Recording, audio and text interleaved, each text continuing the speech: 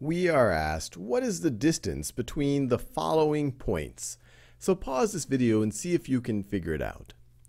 Well, there's multiple ways to think about it. The way I think about it is really to try to draw a right triangle where these points, where the line that connects these points is the hypotenuse. And then we can just use the Pythagorean theorem. Let me show, what, show you what I am talking about.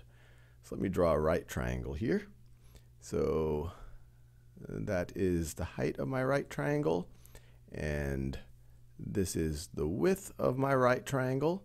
And then the hypotenuse will connect these two points. I could use my little ruler tool here to connect that point and that point right over there. I'll color it in orange. So there you have it. And so there you have it. I have a right triangle where the line that connects those two points is the hypotenuse of that right triangle. Now, why is that useful? From this, can you pause the video and figure out the length of that orange line, which is the distance between those two points? Well, what is the length of this red line? Well, you could see it on this grid here. This is equal to 2. It's exactly two spaces. And you could even think about it in terms of coordinates. The coordinate of this point up here is negative 5 comma 8. Negative 5 comma 8. The coordinate here is x is 4, y is 6, 4 comma 6. And so the coordinate over here is going to have the same, the same y coordinate as this point. So it's going to be comma 6. It's going to have the same x coordinate as this point. So this is going to be negative 5 comma 6. And so notice, you have a, you're only changing in the y direction and you're changing by 2. Now what's the length of this line? Well, you could count it out. 1, 2, 3, 4, 5, 6, 7, 8, 9. So it's 9. Or you could even say, hey, look, we're only changing our in the x value. We're going from negative 5, x equals negative 5, to x equals 4. So we're going to increase by 9. Now all of that just sets us up so that we can use the Pythagorean theorem.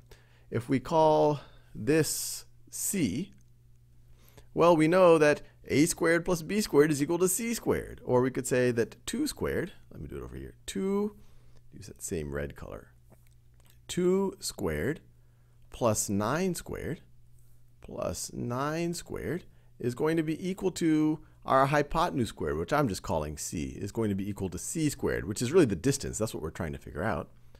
So 2 squared, that is 4, plus 9 squared is 81 that's going to be equal to c squared. And so we get c squared is equal to 85. c squared is equal to 85, or c is equal to the principal root of 85. Now can I simplify that a bit?